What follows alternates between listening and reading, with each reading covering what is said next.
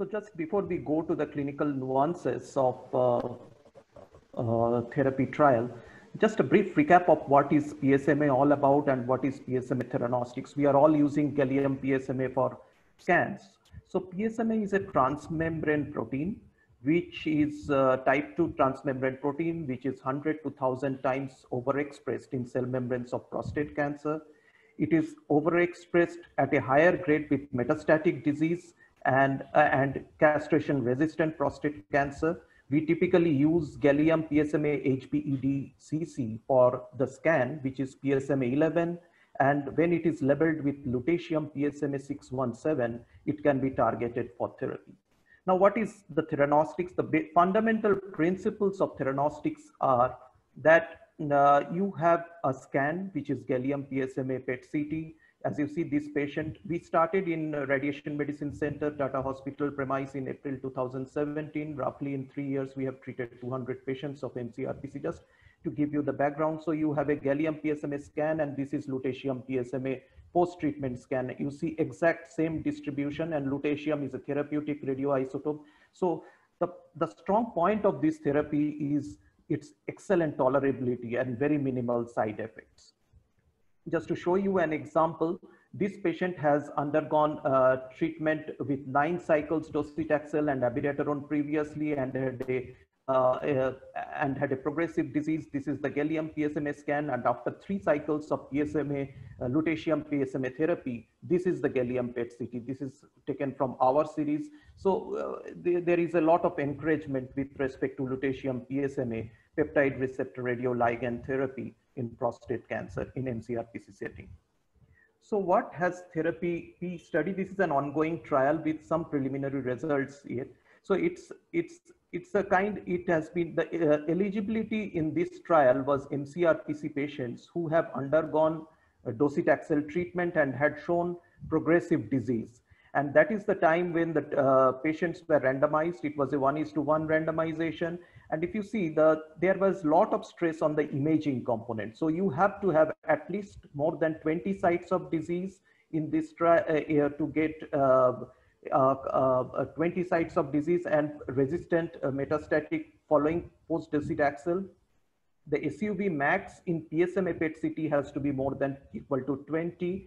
And you always require to do dual tracer PET CT to select. I just tell you the example how they have done you see, uh, in our setup, we do now five kinds of a subset, and this will be a major, uh, a bit of an ahead of time, but a very important thing is that we are going to probably individualize which patient is going to go by dual tracer PET CT. And if you see, this is the group of patient where it was eligible. So you have a PSMA, which is showing very high uptake. FDG does not show anything. So this is a group, uh, one subset where this is a congruent PSMA PET CT. These are the two groups of patients who were eligible with PSMA, uh, lutetium PSMA and cabazitaxel uh, randomization. Whereas this group of patients, when you have FDG uptakes more than PSMA, these are the patients who will not be benefited with PSMA therapy. So in this trial, what they have done is there should be no discordant FDG plus PSMA minus disease, which will be centrally reviewed by a committee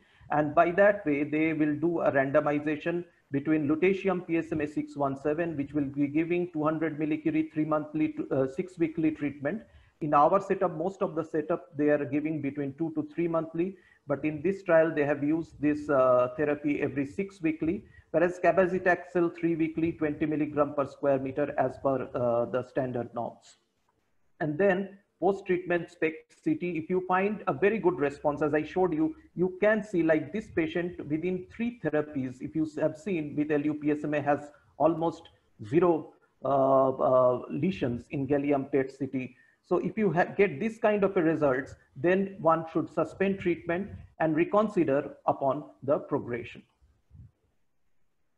Uh, so uh, taking that, I just give you a small um, insight into this is if you see, see in our experience, what we see, if you see this kind of a lesion where FDG uptake is high in some of the lesions, uh, here it is partial discordance where FDG is high, we find that there is less response. So just give, trying to give you the insight, this is one uh, study that was published from our group of Radiation Medicine Center, Tata Hospital, Amit and Kumar, both are co-authors for this from, uh, and one of our MD student who have published. And if you see, as the FDG uptake goes up, the therapeutic efficacy of PSMA goes down. So the progressive disease in our set is when you have a FDG SUV of 15.1 is 80% versus 40% when it is up to uh, 5. So taking that uh, into the background, the therapy trial has uh, uh randomized 200 patients and uh, it has been divided into 19 and 101 nearly equal and ultimately 98 patients were treated with LU PSA arm, uh, PSMA arm and cabazitaxel with uh, 85 patients. Now the primary endpoint of this TheraP trial was PSA response and as per the PCWG uh, criteria uh, was defined by PSMA reduction of greater than 50% from baseline. Secondary endpoint was PSA progression-free survival and adverse uh, events.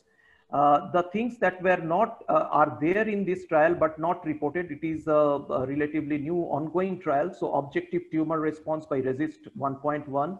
And as we see, the symptoms and quality of life were seen by PEN response and PEN PFS, whereas the imaging was done by RECIST 1.1 for response and radiographic PFS, and then after all, the health related quality of life and overall survival. So these were not reported when the preliminary results were, uh, were uh, reported in this uh, March 2020 ASCO trial. So Sir, only one, one minute left. Yeah. So, so, so if you see, this has a uh, median follow-up of 13.3 months, and uh, the data was uh, Uh, uh, uh, was presented in 31st March 2020, the cutoff. And if you see the the the more or less they they were matched in all respect both in the cabazitaxel and LUPSMA arm. The Gleason score divisions also were very well matched. And just to show you the preliminary result from the primary endpoint, the, the PSA response was 37% in cabazitaxel arm, whereas 66% in LUPSMA arm. So there is a 29% uh, absolute increase in LUPSMA uh, PSMA therapy arm.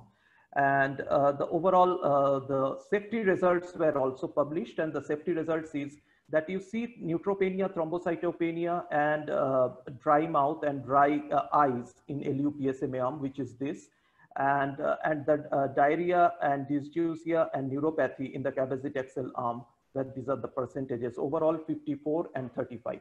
So with this preliminary result, the final impression by the group was in men with progressive uh, uh, disease following docetaxel, LUPSMA was more effective, uh, active than cabazitaxel with fewer, uh, fewer grade 3, grade 4 adverse effects. And PSA PFS, I have not shown this because it was a preliminary, the carb separation was good.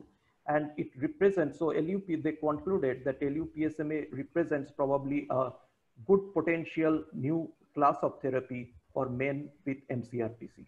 Thank you.